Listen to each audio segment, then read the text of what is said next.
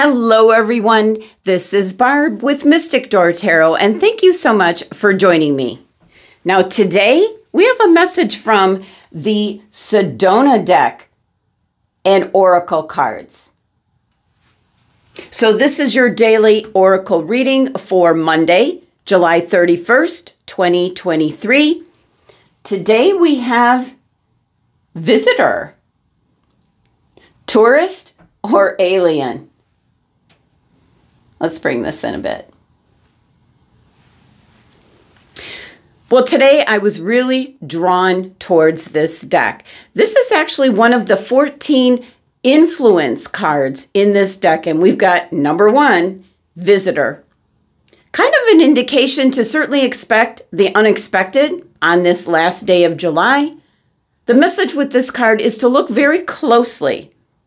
That person that might be visiting, someone around you, someone that's looking so closely, like in this case at the rock formations or what is around your environment. There's an indication where did they come from? Really, where did they come from? I am picking up strongly. This is like a sneak peek preview as to we're going into the month of August, which is going to be a very, I don't want to say necessarily unstable energy, but a very uncertain energy. Kind of anything could happen. So it'll kind of keep you on your toes.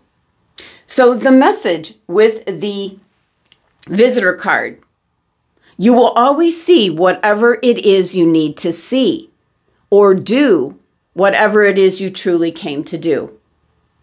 Strong message with this card that circumstances may not be quite what they appear to be. And this message is coming through on the cusp of the full moon tomorrow, the full moon in Aquarius. Dreamy Aquarius getting lost in that dreamy, hazy foggy vibes of uncertainty. So, certainly, with this particular card coming out of the Sedona deck, we're in for a month coming up, certainly where things are not as they seem. So, kind of think before you act.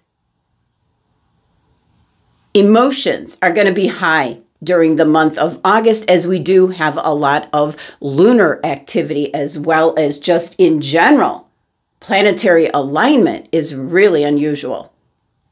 Now, he's kind of giving us a wink here, showing up, kind of giving us um, giving us a sneak preview, a snapshot of what's to come.